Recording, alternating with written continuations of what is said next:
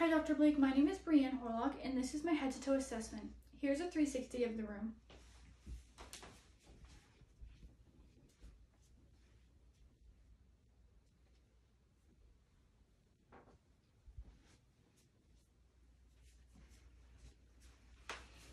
I'm first going to start off by washing my hands.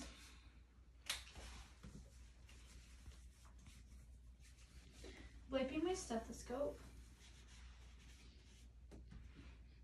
Wiping my pen light.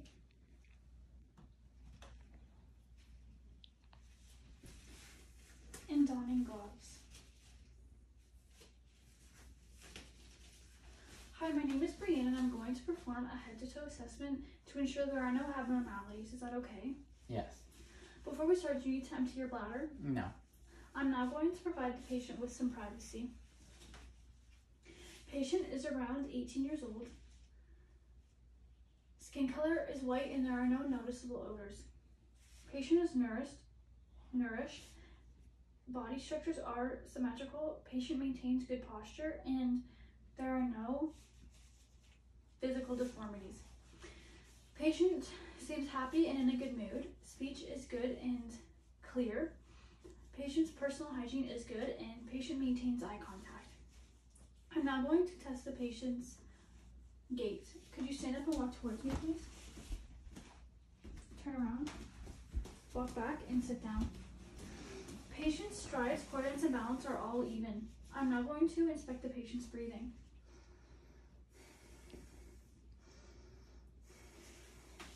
Patient's breathing is consistent, therefore there are no signs of distress. I'm now going to check the patient's alertness. What is your name? Daria. Do you know where you are? I'm at the hospital. Do you know what day of the week it is? It's Tuesday. Patient is alert and oriented. I'm now going to inspect and palpate the patient's skull. Any pain? No. Patient's skull is normal cephalic shape. Patient is not in any pain and there's no tenderness, no lesions, no lumps, no scarring, and there's no edema. I'm now going to inspect the patient's hair. Patient's hair is black, thick, and wavy. There are no foreign bodies or infestations. I'm not going to palpate the patient's facial structures. Any pain? No. Patient is not experiencing any pain. There is no tenderness. Patient's facial structures are symmetrical. There are no lesions, no scars, no edema. Patient does have facial acne. I'm now going to perform cranial nerve number seven test. Can you smile? With teeth? Frown? Raise eyebrows? Puff cheeks? Close eyes tightly? Patient's facial structures are symmetrical, therefore there's no damage to cranial nerve number seven, the facial nerve. I'm now going to inspect the patient's eyes. Patient's eyelashes and eyelids are intact, the skin is intact, there's no ptosis, no lid lag, no periorbital edema. There is no discharge, no lesions or any scars or swelling. Patient has equal lash distribution. Patient's eyebrows are black, they are thick, and they are bilateral, and they move symmetrically when patient's facial expressions change. There's no scaling or any lesions. Patient's eyeballs are moist and glossy. Conjunctiva is white and sclera. Conjunctiva is clear and sclera is white. There is pink on lower eyelid. And patient does not have any watery eyes and there is no lesions or any swelling. I'm now going to inspect the patient's pupils using PERRLA. Patient's pupils are 4 millimeters. They are both round and, and symmetrical. I'm now going to perform the direct consensual light reflex exam. Patient's pupils constrict. I'm now going to perform the visual reflex accommodation exam. Look at my pen light. Patient's pupils converge. Patient's pupils are equal, reactive, and responsive to light and accommodation.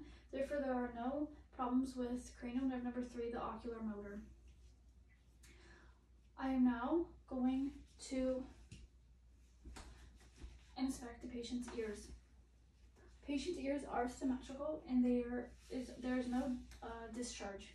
I'm not going to palpate for any tenderness. Auricle and tragus. There are no there's no tenderness. I'm not going to perform the whisper test. Could you cover one ear for me, please, and repeat after me?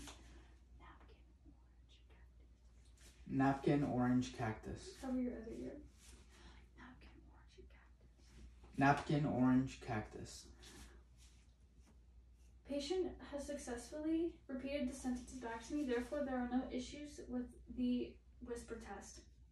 I'm now going to inspect the patient's nose and sinuses. Patient's nose is midline. There's no crusting or any discharge, and there are no signs of nostril flaring. I'm now going to palpate the patient's sinuses. Frontal, maxillary. Any pain? No. Patient is not as patient is not in any pain, but and only feels minor pressure. I'm now going to inspect the patient's mouth and pharynx. Patient's lips are pink. They are symmetrical and hydrated. There are no lesions or any swelling. Patient's gums are pink. There are no signs of bleeding, no lesions or any swelling. Patient's teeth are white, polished, and straight. They are also square, and there are no signs of any looseness. Can you stick your tongue out for me, please? Put it side to side. Put it to the roof of your mouth. Stick it back out. Patient's tongue is pink. It is symmetrical. It is hydrated. There are no lesions or any swelling. Patient's soft, hard and soft palate are pink. No lesions and the structures are intact. I'm now going to perform cranial nerve number 9, 10, and 12 test. Could you stick your tongue out please and say ah? Uh, Patient's soft palate rises and uvula is midline. Therefore, there are no issues with cranial nerve number 9, the glossopharyngeal, and cranial nerve number 10, the vagus. Could you stick your tongue out for me, please? Put it side to side. Say light, tight, dynamite. light, tight, dynamite. Speech is clear and there are no tremors. Therefore, there are no issues with cranial nerve number 12, the hypoglossal.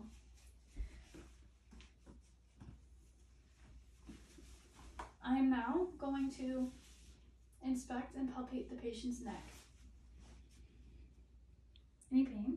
No. Patient is not experiencing any pain or tenderness. There are no lesions, no scarring, no edema. Patient's neck is symmetrical. There is no crepitus, and there are no masses. And the color is even is distributed evenly. I'm now going to palpate the patient's carotid arteries. I would hold for one minute and hold for one minute. Patient's rate is 80 beats per minute, rhythm is regular, grade is plus two, and strength is plus two. I'm now going to perform cranial nerve number 11 test. Shrug your shoulders for me, please.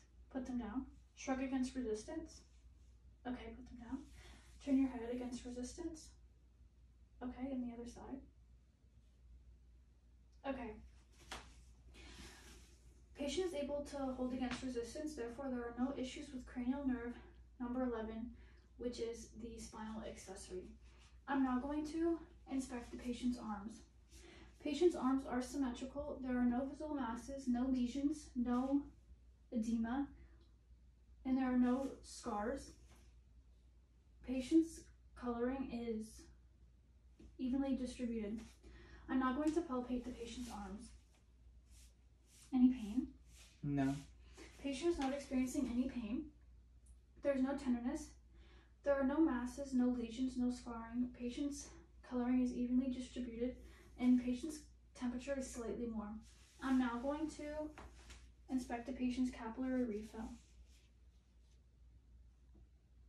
Patient's capillary refill is less than two seconds. I'm now going to palpate the patient's radial pulse.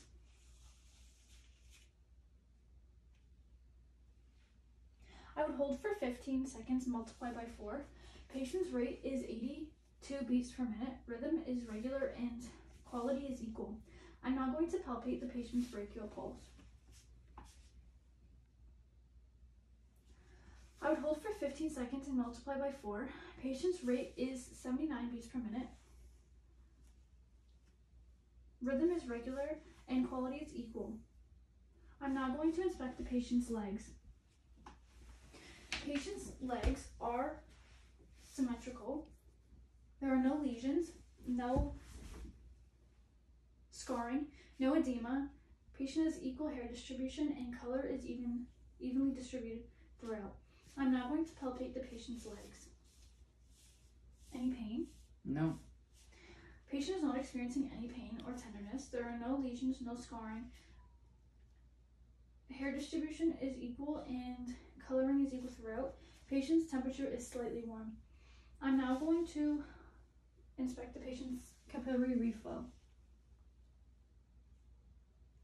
Patient's capillary refill is less than two seconds. I'm now going to palpate the patient's posterior tibialis pulse. I would hold for 15 seconds and multiply by 4. Patient's rate is 82 beats per minute, rhythm is regular, and quality is equal. I'm now going to palpate the patient's dorsalis pedis pulse. I would hold for 15 seconds and multiply by 4. Patient's rate is 80 beats per minute, rhythm is regular, and quality is equal. I'm now going to inspect the patient's thorax. Could you turn around for me, please?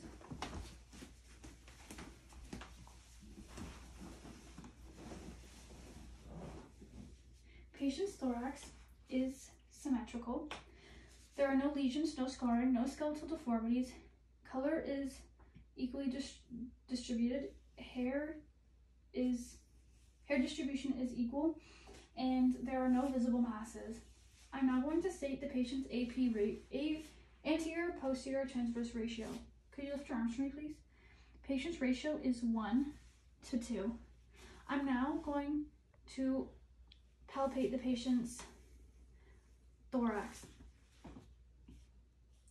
Any pain? No. Take a deep breath in and out. Patient is not in any pain. And patient is not in any pain. There is no tenderness, no masses.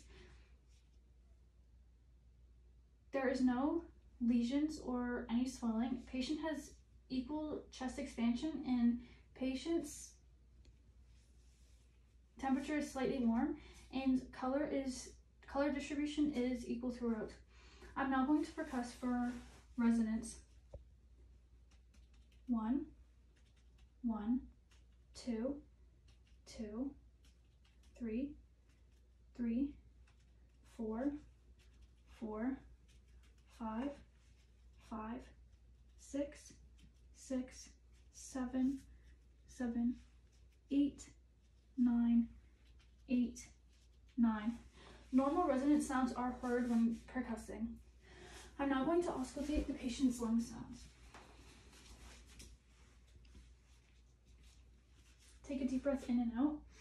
One, one, two, two, three, three, four, four. I'm now hearing broncho-vesicular lung sounds.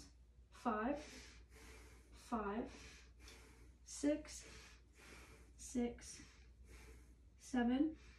I'm now hearing vesicular lung sounds. Seven, eight, nine, eight, nine.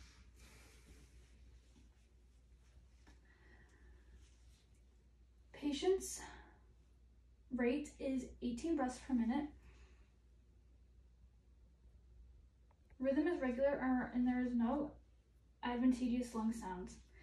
I'm now going to auscultate the patient's heart. Could you face towards me, please?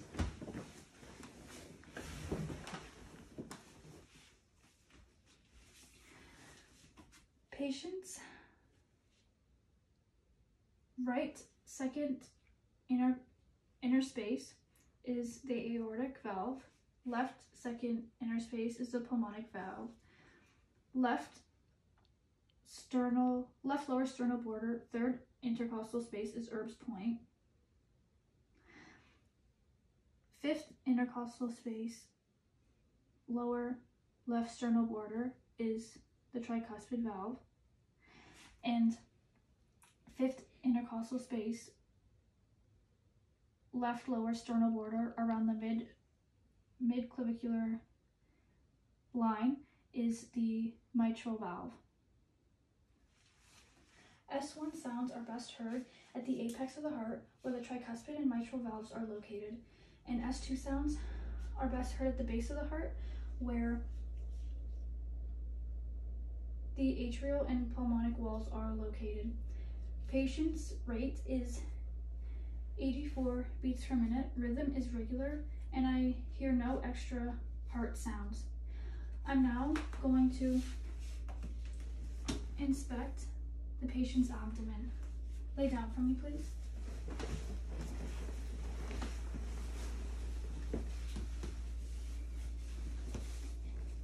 I'm now going to drape the patient.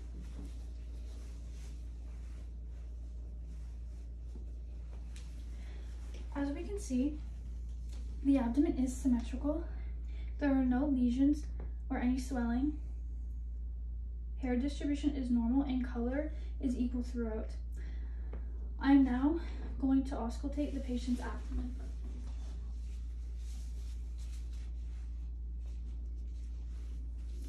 Right lower quadrant, right upper quadrant, left upper quadrant, left lower quadrant. I hear gurgling in all four quadrants and it is hyperactive. I'm now going to percuss the eh, all four quadrants. Right lower quadrant,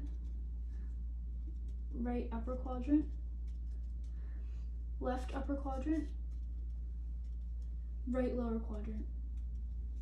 General tympany is heard. I'm now going to palpate the patient's abdomen. Right lower quadrant. There are no superficial masses or rigidity. Right upper quadrant, no superficial masses or rigidity.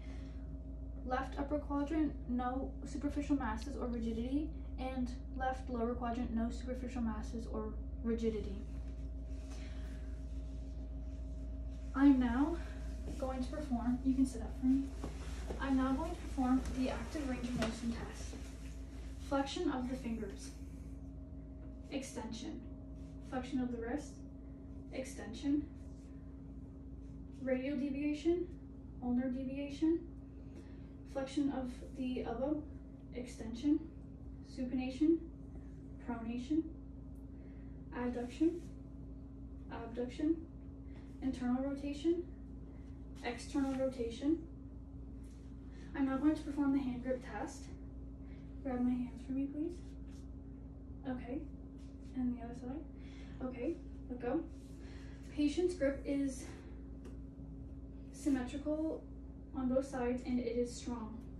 I'm now going to perform the range of motion test on the feet. Dorsiflexion, plantar flexion, dorsiflexion, plantar flexion. It is symmetrical on both sides and there's no, patient seems to be in no pain, no crepitation, and there are no limited range of motion. That is my head to toe assessment. Here's a 360 of the room.